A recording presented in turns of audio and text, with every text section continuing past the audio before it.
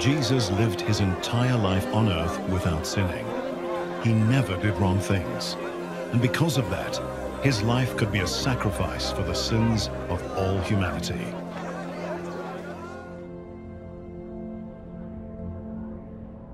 Jesus said to his followers, The hour has come for the Son of Man to be glorified.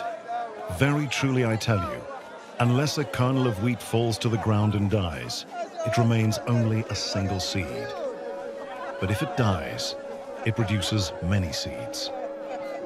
Anyone who loves their life will lose it, while anyone who hates their life in this world will keep it for eternal life. Whoever serves me must follow me, and where I am, my servant also will be. My Father will honor the one who serves me. Now my soul is troubled, and what shall I say? Father, save me from this hour. No. It was for this very reason I came to this hour. Father, glorify your name. Then a voice came from heaven. I have glorified it, and will glorify it again. The crowd that was there and heard it said it had thundered. Others said an angel had spoken to him. Jesus said, This voice was for your benefit, not mine. Now is the time for judgment on this world. Now the prince of this world will be driven out. And I, when I am lifted up from the earth, will draw all people to myself. He said this to show the kind of death he was going to die. The crowd spoke up. We have heard from the law that the Messiah will remain forever. So how can you say, the Son of Man must be lifted up? Who is this Son of Man? Then Jesus told them, You are going to have the light just a little while longer. Walk while you have the light, before darkness overtakes you. Whoever walks in the dark does not know where they are going. Believe in the light while you have the light, so that you may become children of light. Later, Jesus told his disciples, Whoever believes in me does not believe in me only, but in the one who sent me. The one who looks at me is seeing the one who sent me. I have come into the world as a light, so that no one who believes in me should stay in darkness. If anyone hears my words but does not keep them, I do not judge that person. For I did not come to judge the world, but to save the world. Jesus spent three years of his adult life traveling with his disciples and sharing the good news of God's kingdom. But many of his closest followers didn't understand what this really meant. They thought that Jesus had come to rescue them from the Roman Empire's brutal rule. Jesus had told them many times that he had to go away in order for God's promises to be fulfilled. This upset his followers. Jesus told them, Do not let your hearts be troubled. You believe in God, believe also in me. My Father's house has many rooms. If that were not so, would I have told you that I am going there to prepare a place for you?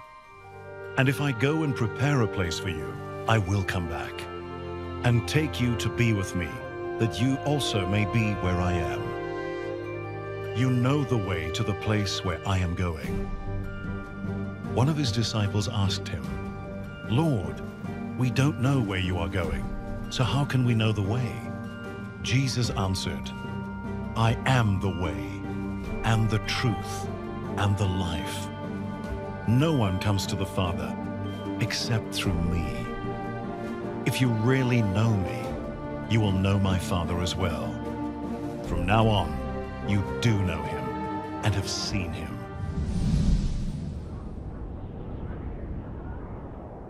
In those days, Caesar Augustus issued a decree that a census should be taken of the entire Roman world. And everyone went to their own town to register. So Joseph also went up from the town of Nazareth in Galilee to Judea, to Bethlehem, the town of David, because he belonged to the house and line of David. He went there to register with Mary, who was pledged to be married to him and was expecting a child.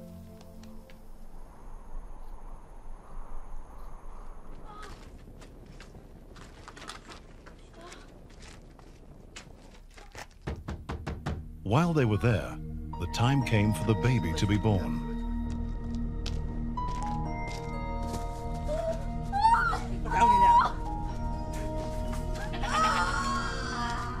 And she gave birth to her firstborn, a son.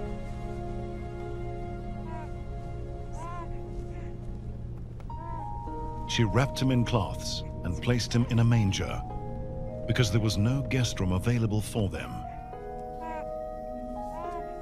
Joseph named the child Jesus, just as the angel had instructed.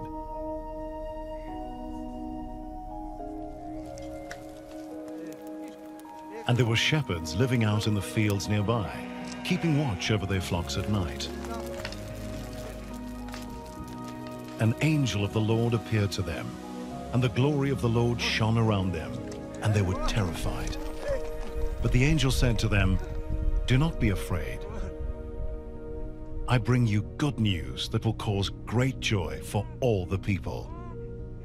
Today in the town of David, a Savior has been born to you. He is the Messiah, the Lord.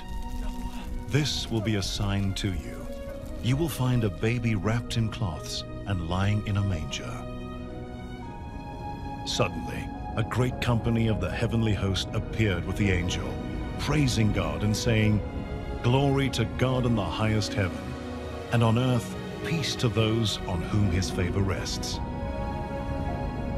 When the angels had left them and gone into heaven, the shepherds said to one another, Let's go to Bethlehem and see this thing that has happened, which the Lord has told us about. So they hurried off and found Mary and Joseph and the baby who was lying in the manger. When they had seen him, they spread the word concerning what had been told them about this child. And all who heard it were amazed at what the shepherd said to them. But Mary treasured up all these things and pondered them in her heart. The shepherds returned, glorifying and praising God for all the things they had heard and seen, which were just as they had been told.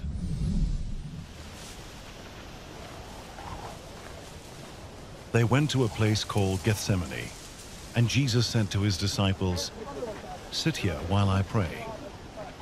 He took Peter, James, and John along with him, and he began to be deeply distressed and troubled. My soul is overwhelmed with sorrow to the point of death, he said to them. Stay here and keep watch.